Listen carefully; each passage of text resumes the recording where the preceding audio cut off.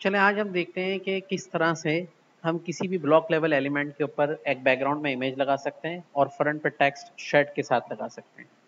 यहाँ से हम जाते हैं फ़ाइल में और यहाँ से हम ओपन फोल्डर करते हैं और अपना फोल्डर यहाँ से ओपन कर लेते हैं, जिसका नाम है या में गए, और C S S firewall novice के नाम से फोल्डर है, इस पर क्लिक करेंगे। कंट्रोल एन करके एक न्यू फ़ाइल लेंगे। सेव करेंगे। उसका नाम हम रख रहे हैं block image in block dot H T M L उसके अंदर शिफ्ट के साथ वन का बटन दबाएँगे, कुछ ब्लॉक इन इमेज और यहाँ पर आके एक डिव ब्लॉक लेवल एलिमेंट बनाएँगे।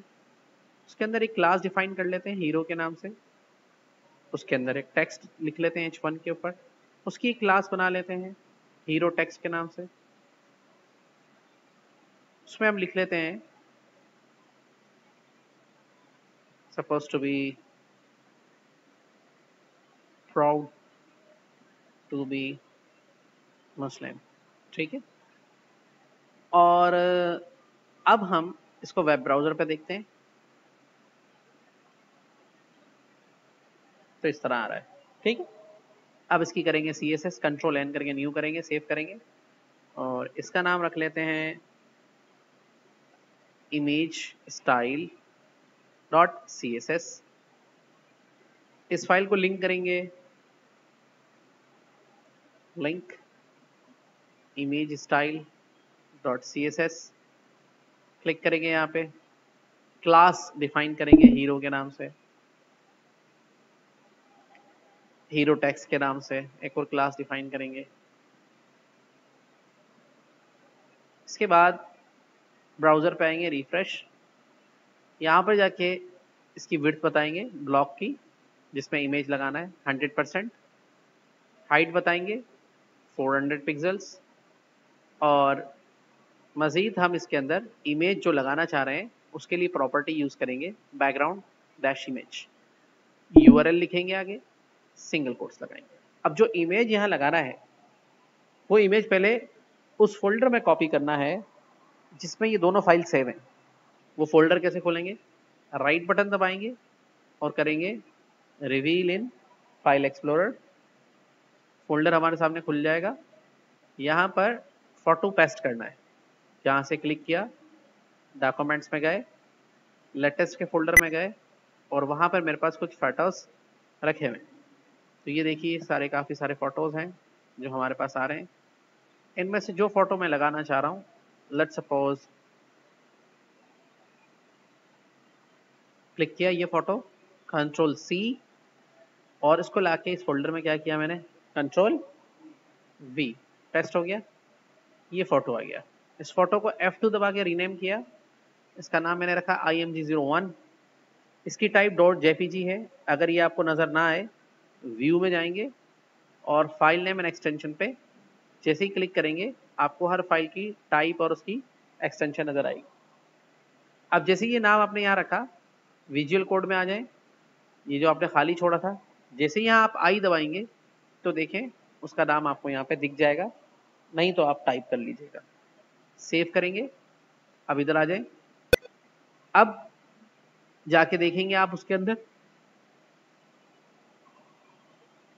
तो देखिए तस्वीर इसके अंदर आ गई। अब तस्वीर जो हमने ब्लॉग बनाया है 400 वाला, इससे बड़ी है। तो हम तस्वीर को एडजस्ट कैसे करेंगे? देखिए, तस्वीर को हम ऊपर कर सकते हैं टॉप सेंटर में कर सकते हैं बॉटम में कर सकते हैं लेफ़्ट पे कर सकते हैं राइट पे कर सकते हैं सेंटर में कर सकते हैं।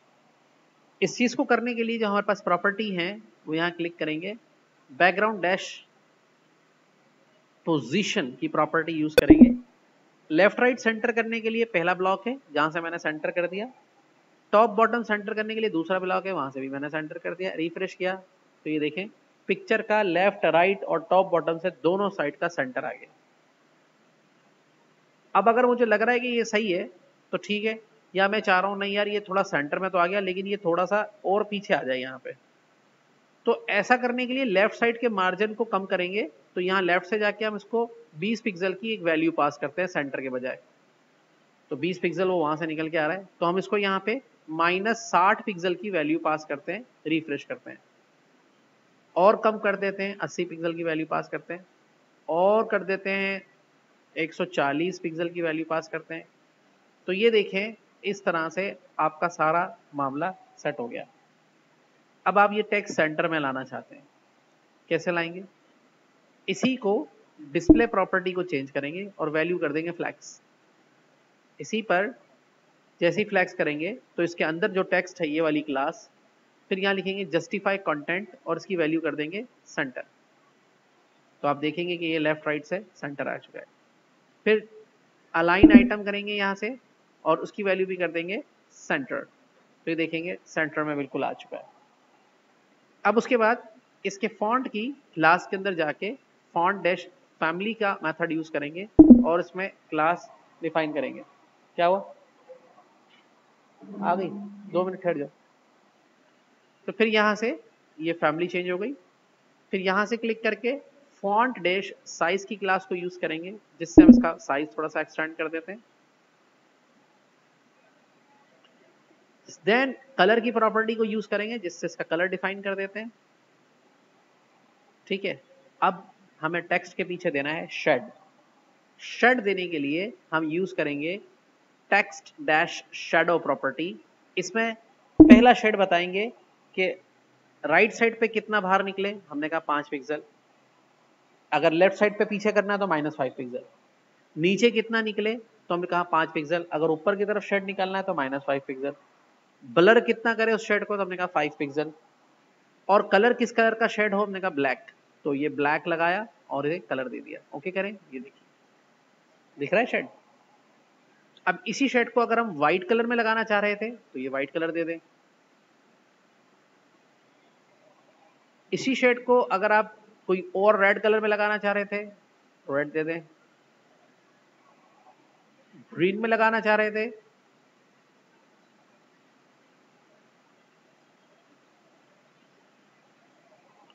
समझ में आ रही बात? तो इस तरीके से आप किसी भी ब्लॉक में इमेज लगा सकते हैं, उसको एडजस्ट कर सकते हैं और प्लस में टेक्स्ट को सेंटर लाइन कर सकते हैं। अब मैं चाह रहा था टेक्स्ट थोड़ा सा नीचे नज़र आए, ऊपर आ रहा है। तो हम जस्टिफाई कंटेंट में, जहाँ पे अलाइन आइटम में हमें सेंटर कराए यहाँ पर हम करेंगे एंड बहुत ज़्यादा नीचे हो गया, थोड़ा ऊपर नज़र आए।